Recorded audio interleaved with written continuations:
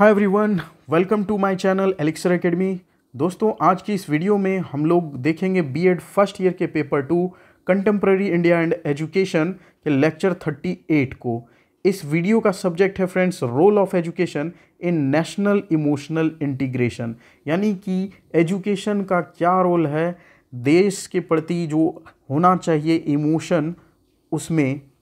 Education का क्या role है। देशभक्ति को जगाने में discuss the role of education in national and emotional integration ठीक? यानी नेशनल फीलिंग को जगाने में एजुकेशन का क्या योगदान है, देखते हैं। Education plays a crucial role in both national and emotional integration by fostering a sense of belonging understanding and empathy among individuals within a society education का बहुत बड़ा योगदान है नेशनल डेवलपमेंट करने में और साथ ही साथ बच्चों के इमोशनल डेवलपमेंट को एक साथ इंटीग्रेट करने में ताकि पूरे देश में जो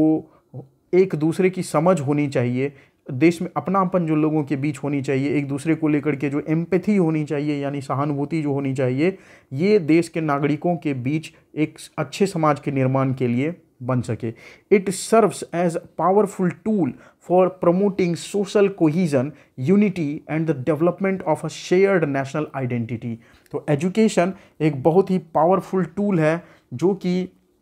देश के सभी नागरिकों को एकजुट रखने में, एक बेहतर समाज की रचना करने में, एक बेहतर समाज के विकास करने में बहुत ही सहायक होता है।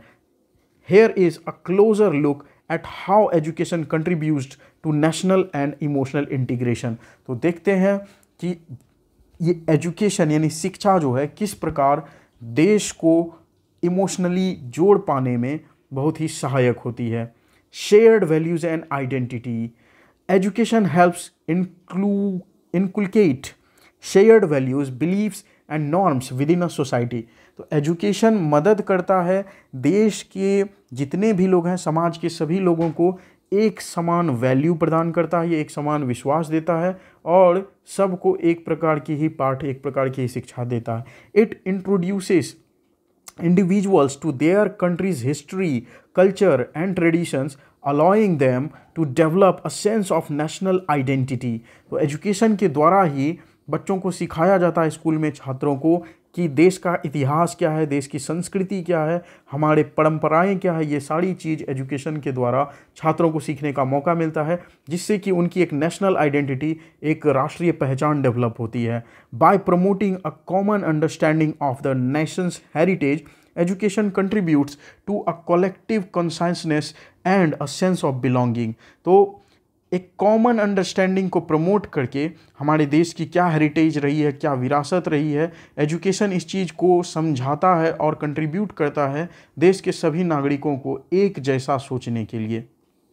फिर है cultural understanding and acceptance. Education exposes individuals to diverse perspective, cultures and traditions. तो education लोगों को समाज के अलग अलग पर्सपेक्टिव अलग अलग कल्चर अलग अलग ट्रेडिशन से परिचित कराता है it encourages an appreciation for diversity and foster tolerance empathy and respect for others तो एजुकेशन इनकरेज करता है लोगों को प्रोत्साहित करता है ये शिक्षा कि डाइवर्सिटी को लोग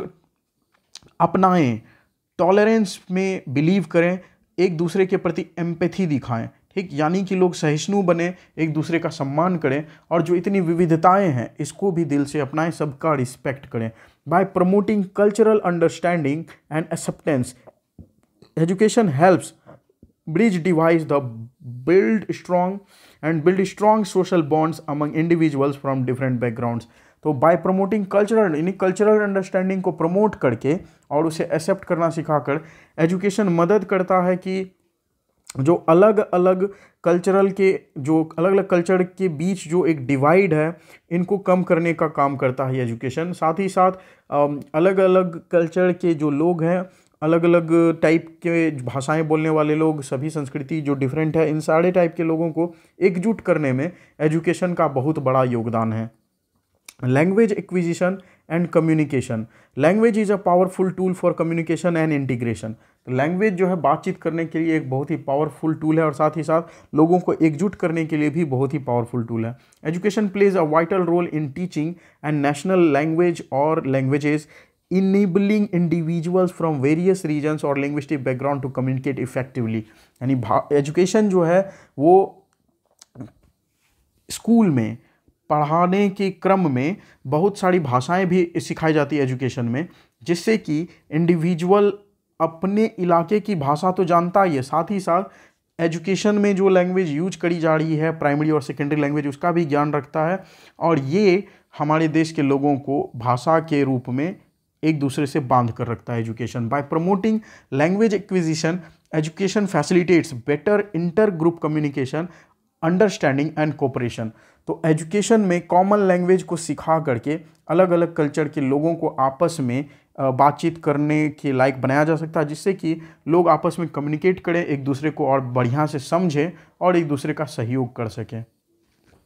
Social integration education provides opportunities for individuals from diverse background to interact and collaborate in structured and inclusive environment. यानी एजुकेशन के ज़रिए स्टूडेंट्स को क्लासरूम में ऐसा माहौल मिलता है कि अलग अलग बैकग्राउंड के आए हुए बच्चे अलग अलग समाज से आए हुए बच्चे, वहाँ पर आपस में एक दूसरे का साथ देते हैं, एक दूसरे से बातचीत करते हैं और एक बढ़िया इन्वायरमेंट बनाने का प्रयास करते हैं schools and educational institutions serve as a social spaces where students from different social economic and cultural background come together तो स्कूल और एजुकेशनल इंस्टीट्यूशंस एक ऐसी जगह हैं जहाँ पर कि अलग अलग सोसाइटी अलग अलग इकोनॉमिक कंडीशन अलग अलग कल्चर बैकग्राउंड से आए हुए बच्चे एक साथ बैठते हैं, एक दूसरे से बातें करते हैं, एक दूसरे को समझते हैं। Through group initiatives team projects and shared learning experiences, education promotes social integration and helps break down barriers यानी कि ग्रुप एक्टिविटीज़ अगर छात्रों से कराई जाए, उनको टीम प्रोजेक्ट बनाने को दिया जाए तो इससे क्या होगा कि उनकी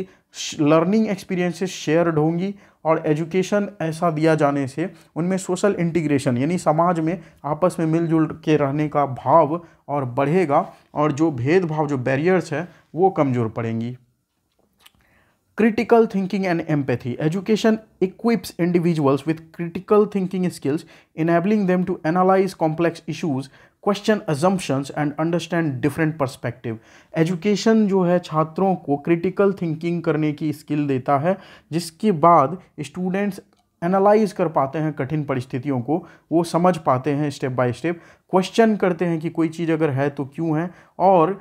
डिफरेंट जो है पर्सपेक्टिव उसे समझने का प्रयास करते हैं। यानी अलग अलग लोगों का जो विचारधारा अलग अलग है एजुकेटेड पर्सन सीधे लड़ने नहीं लगते हैं, बल्कि उनकी डिफरेंट पर्सपेक्टिव को शांत होकर समझने का प्रयास करते हैं। This cultivates empathy and the ability to appreciate and respect diverse opinions and experiences तो इससे क्या होती है? एम्पैथी की भावना आती है। सभी व्यक्ति एक दूसरे का रिस्पेक्ट करना सीखते हैं। साथ ही साथ जो डाइवर्स ओपिनियंस होती हैं, यानी अपनी ओपिनियन के अलावा बाकी जो ओपिनियन मिलती है इस तरह के डिस्कशन से, वो भी एक नया अनुभव देती हैं लोगों को। By fostering critical thinking and empathy education encourages dialogue reconciliation and resolution of conflicts तो एजुकेशन में ये जो क्रिटिकल थिंकिंग की स्किल स्टूडेंट्स को मिलती है, इसका यूज़ स्टूडेंट्स करते हैं शांत होकर चीज़ों को समझने में एक एम्पैथी एक दूसरे के प्रति और ज़्यादा सहानुभूति दिखाने में और डायलॉग बातचीत करके समस्या का समाधान करने में यकीन करते हैं। अगर उनकी क्रिटिकल थिंकिंग और डेवलप हो जाती है तो जो कि होती ही है अच्छी एजुकेशन से।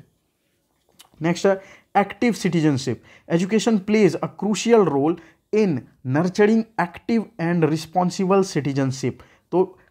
एजुकेशन, शिक्षा एक बेहतर सामाजिक नागरिक बनाने में मदद करती है। It provides knowledge about democratic values civic rights and responsibilities and the functioning of government institutions education में ये भी बताया जाता है कि हमारी डेमोक्रेटिक वैल्यूज़ क्या है, लोकतंत्र की क्या क्या वैल्यूज़ हैं, नागरिकों के क्या अधिकार हैं, उनके क्या कर्तव्य हैं, साथ ही साथ गवर्नमेंट किस प्रकार फ़ंक्शन करती है ये सब कुछ ज्ञान दिया जाता है by promoting civic education education empowers individuals to participate actively in the democratic process engage in community service and contribute to the betterment of the society तो ये सिविक एजुकेशन दे करके जो उनके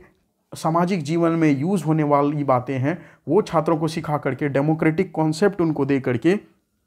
छात्रों को एक जिम्मेदार और लायक सामाजिक नागरिक बनाया जाता है, जो कि अपने समाज को बेटर बनाने में सहयोग करते हैं। Active citizenship strengthens national unity and emotional integration तो जो एक्टिव नागरिक होते हैं देश के, वो देश को और एकजुट करने में महत्व अपना इम्पोर्टेंस रखते हैं और अपनी ज़िम्मेदारी को भी अच्छे से निभाते हैं। Addressing social inequalities education can help address social inequalities by providing equal opportunity for all individuals to access equality quality education regardless of their background तो एजुकेशन लोगों को